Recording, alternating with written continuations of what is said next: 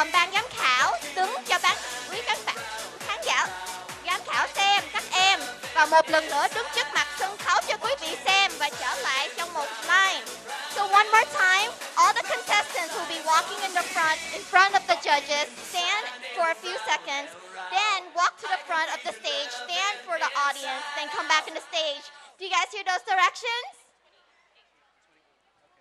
Okay, don't worry, I'll take you in. So số 2, anh chị đang từ thành phố Garden Grove cho em đứng trước mặt ban giám khảo.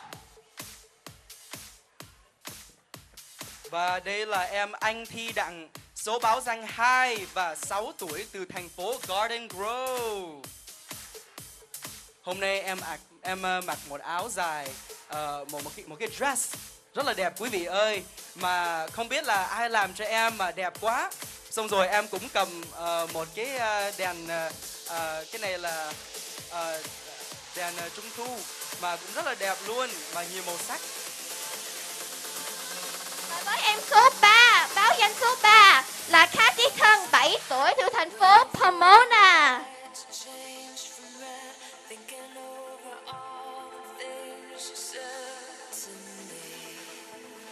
Và anh Khang, tới em số mấy? Và bây giờ ờ, số báo danh 5 của em Kelly Thân 9 tuổi từ thành phố Pomona.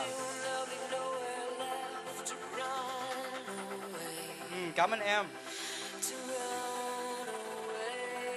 Với số báo danh số 6 mặc áo dài màu trắng rất là dễ thương Jennifer Trương, 5 tuổi từ thành phố Anaheim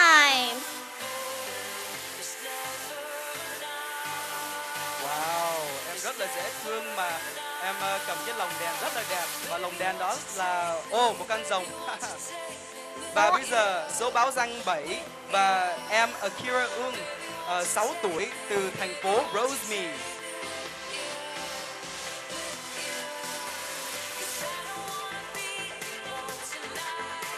Và em Sophia Tang, số báo danh 8, 6 tuổi từ thành phố Westminster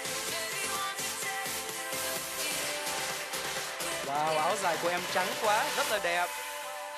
Và bây giờ số báo danh 9 tuổi từ em Jaden Trương, 7 tuổi từ thành phố Anaheim. Quý vị cũng thấy là có một em trai tham gia trong chương trình Và với số báo danh số 10, Trish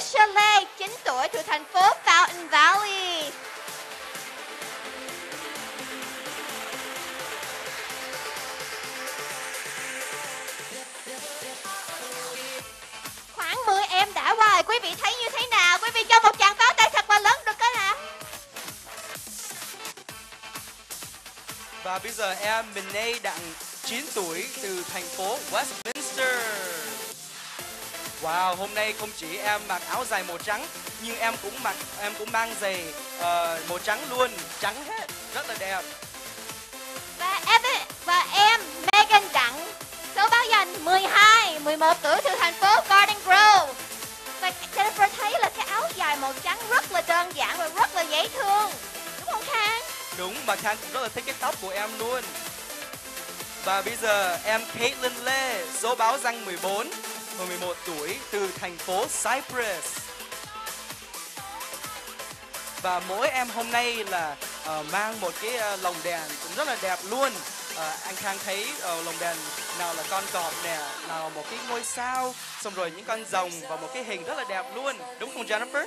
Đúng rồi và trong Tết Trung Thu không được thiếu các em đúng không quý vị? Tết Trung Thu không có vui bằng là phải có các em cầm lồng đèn ở dưới cung trăng mới vui. Và sau đây số báo danh 18, Caitlin Thao Mỹ Lê, 11 tuổi, thành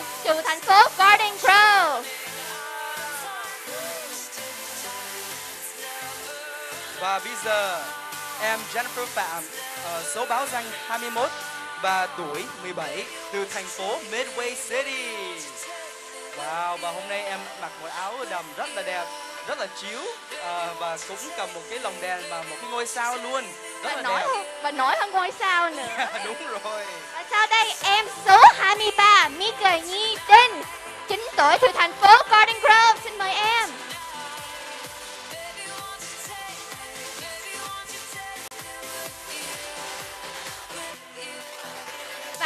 danh số 26 Christina Trương 11 tuổi thủ thành phố Westminster.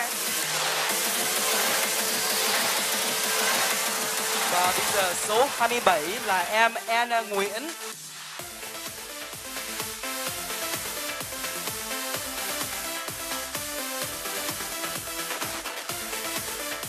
Sau đây kế bên Jennifer là trước tuổi Số báo danh 29 Hai em em tên gì? City are you from? Mountain Valley Và em số 29 từ thành phố Fountain Valley. Then Kenneth Lê. Yeah, go Kenneth. Hello em, em đẹp quá em mặc đồ đẹp hơn chị thằng Jennifer luôn á. Em tên gì? Minh Hà, Minh Hà mấy tuổi năm nay? 14 tuổi. 14 tuổi và bằng Jennifer luôn. Jennifer thấy Jennifer già rồi. Năm nay á em từ th- năm nay á là tại sao em muốn tham gia chương trình? Dạ, xin mời em. À, dạ vâng, đó chính là em Kate Đặng đến từ Irvine. À, bây giờ kính thưa quý vị, số 15 em Công Đặng đến từ Irvine.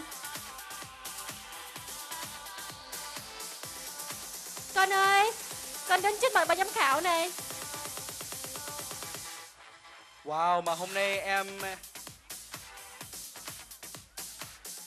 tiếp theo, em cuối cùng đó chính là em Thiên Đặng đến từ Irvine. Năm nay em 8 tuổi.